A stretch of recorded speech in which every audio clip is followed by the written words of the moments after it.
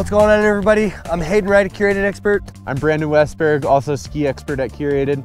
And then this episode of Head to Head, we had the Armada ARV 106 versus the Atomic Bent Chetler 110. We're out here at Powder Mountain today in Utah really close comparison between these two skis. We had a lot of fun out there today. So our first category is gonna be grooming or carving performance. Yep, then we do a little bit of free ride. We'll scale them on that, free ride. And then lastly is freestyle, especially for these skis, which are both full twins, totally designed to get jibby and get in the air. That's gonna be a big one here. Just so you know, we're not sponsored or paid by any ski brands. And what this does is this just gets you the most unbiased opinion about these skis and it's just two buddies out here having fun.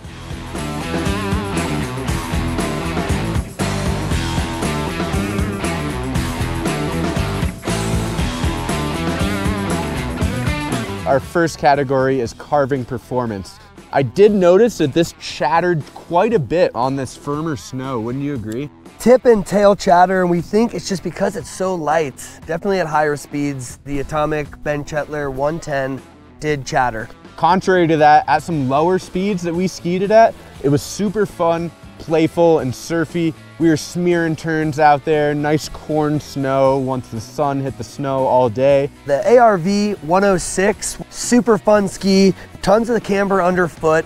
Being only 106 millimeters wide underfoot, I had a real easy time getting it edge to edge. I thought it carved really well. Going back to why the ski is so damp and didn't shatter, definitely the main difference here is weight difference in both of these skis. We got the ARV coming in at about 20% heavier than the Bent Chetler 110. So that's certainly a reason why it's more damp and able to have better edge hold while carving. And overall, I thought it takes quite a bit to actually drive this ski though. Yep. If you're in the back seat or not wanting to put a lot of energy into carving this ARV 106, it may not be for you, then the Atomic Bent Chetler 110 is definitely more of a chill, slower, fun groomer ski. So for carving, what do you think, man? What are you picking? My final decision in the carving category here is gonna be the ARV 106. So I'm as well, I'm gonna have to give it up to the ARV 106 for the carving category in this head-to-head. -head.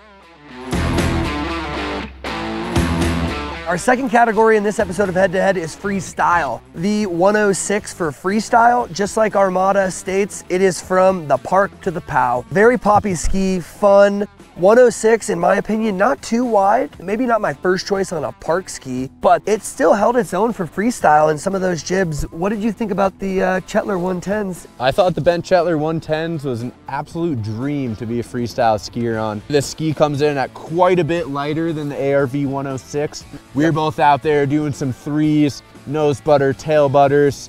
It was definitely awesome to have a fun and playful ski that's also flexible. We were both able to catch some air, do some spins.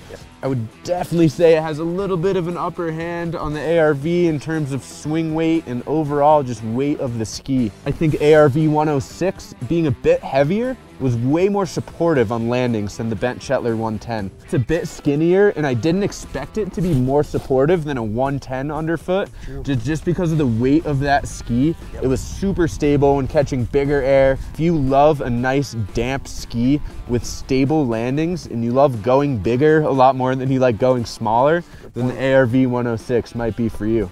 The Bent Chetler 110s were a super fun ski.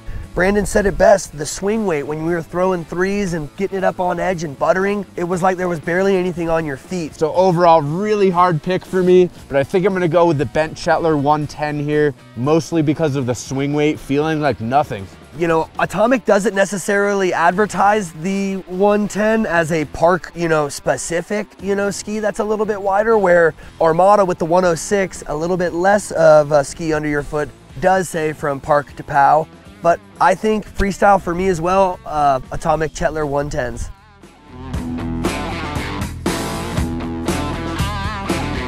So our last category in this episode of Head to Head is free ride performance. The ARV 106 was super fun taking it off trail. Both skis have pretty unique tip and tail designs. Armada's is the SmearTech, and basically what that is, is the ski isn't flat all the way on the bottom. Picture kind of like a boat, you know, a boat hull. So this ski off trail in the free ride area is getting to those jumps and zones where you can free ride at a resort It definitely helped once the snow got a little softer, so something to consider if you're skiing a lot of spring skiing and stuff. Um, what do you think about the Chetler 110s? We have a little bit more rocker in the tip here, which gives me great confidence that this ski would rage in the POW any amount of snow from two inches all the way to a foot or two plus. This would be an excellent ski for it. Something I would have appreciated was maybe a little bit heavier of a ski or damp of a ski. So what do you think in the free ride category between the Chetler 110 and the ARV 106? What are you taking in that category? For me, it's the ARV 106. I just enjoy a little bit damper ski for my skiing style in the free ride category. For me and my skiing style, the, the little bit of quickness turn edge to edge, even though it is a little bit wider, I think the weight played into that. So for my pick, I picked the uh, Atomic Bent Chetler 110s in the free ride category.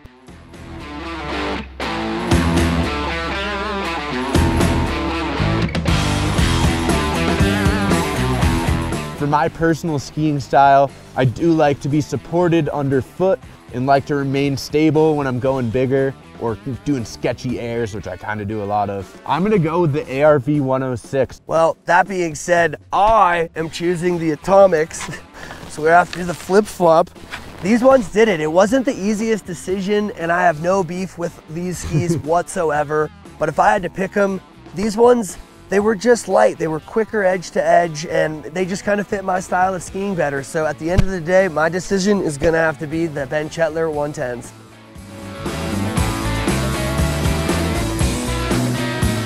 You need help finding the right pair of skis for you, please reach out to either Hayden or myself or any of the other fantastic ski experts on Curated. Yes, and if you like what you see, don't be shy, hit the like button, subscribe, drop a comment down below. Tell us what skis you'd like us to see, and we're gonna start getting through those lists and we'll start making more head-to-heads.